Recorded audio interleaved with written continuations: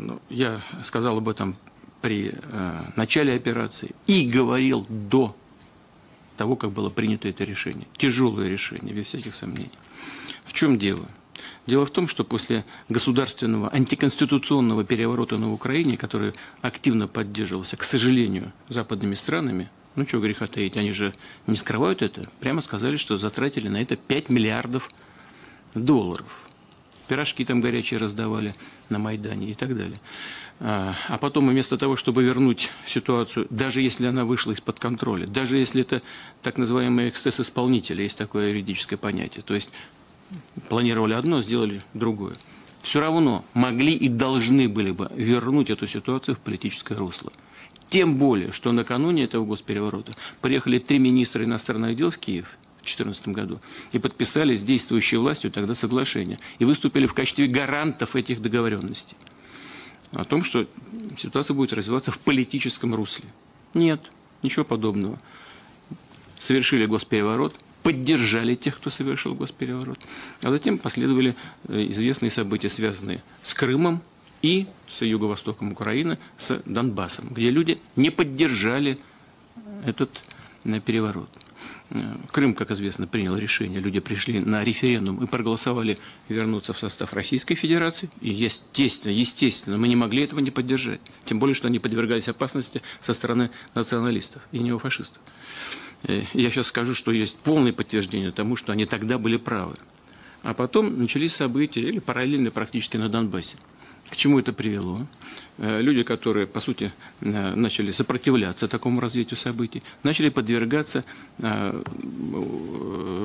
преследованию и на этой территории киевские власти начали проводить военные операции. Провели две крупномасштабных карательных военных операции с применением тяжелой техники, авиации боевой. Прямо били значит, по, по, по Донецку.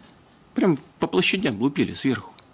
Значит, на танки, авиация и так далее. Обе эти э, компании военные оказались провальными. Они потерпели поражение. После этого возникли так называемые Минские соглашения, или комплекс мер, как его официально называют, который показал путь мирного разрешения этого конфликта. И мы старались, делали все для того, чтобы пустить развитие событий именно по этому руслу, для того, чтобы восстановить территориальную целостность Украины и защитить интересы людей, которые на этих территориях занимают, э, живут. А чего они требовали? Да элементарных вещей. Право говорить на родном, в данном случае на русском для них языке. Э, э, жить в рамках своих традиций своей, своей культуры. Ничего особенного не было. Но ничего особенного. Нет значит, сделали, а, а, организовали блокаду этих территорий, отключили их от банковской системы, от продовольственного снабжения, от выплат пенсий, пособий и так далее. Там подачи какие-то подбрасывали, и то для того, чтобы получить эти пособия и пенсии, надо было проходить линию разграничения. Послушайте, вы знаете, что я сейчас скажу? Может быть, это жестко так прозвучит, прямо от меня в голову пришло, но тем не менее, ситуация заставляет говорить такие вещи. Ну вот вы сами видите, когда у нас то в одном, то в другом регионе значит, э, бродящие собаки набрасываются на, на людей, ранят, даже есть и летальные случаи.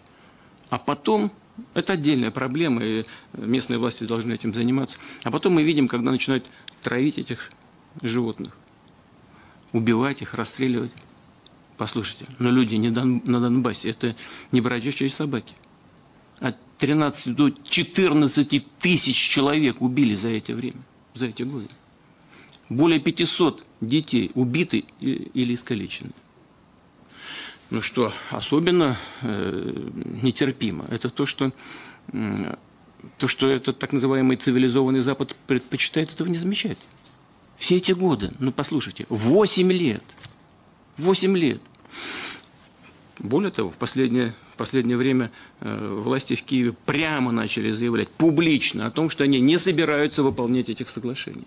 Но они же говорят об этом прямо с экранов телевизора, в интернете, везде, публично говорят. Не нравится, не будем. При этом Россию продолжали обвинять в том, что мы не выполняем этих соглашений. Ну, какой-то бред просто. Театр абсурда. То, что белое, говорят черное, а на черное говорят белое. В последнее время еще хуже. Вдруг заговорили о том, что э, собираются еще, э, то есть говорят уже давно, но начали все активнее и активнее говорить о том, что э, Украину возьмут, примут в НАТО. Вы понимаете, к чему это при, могло привести? Или может привести еще до сих пор? Если это страна НАТО, в соответствии с договором об образовании этой организации, все другие члены Альянса должны поддерживать эту страну в случае военного конфликта. Крым российским, кроме нас с вами, никто не признает. Значит, они проводят военные операции на Донбассе, также полезут в Крым. И тогда мы должны будем воевать со всем НАТО, со всей организацией НАТО. Это что такое?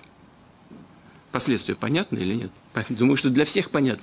Значит, теперь заговорили о, э, о том, чтобы э, приобрести ядерный статус, то есть приобрести ядерное оружие. Мы не можем пройти мимо таких вещей. Тем более, что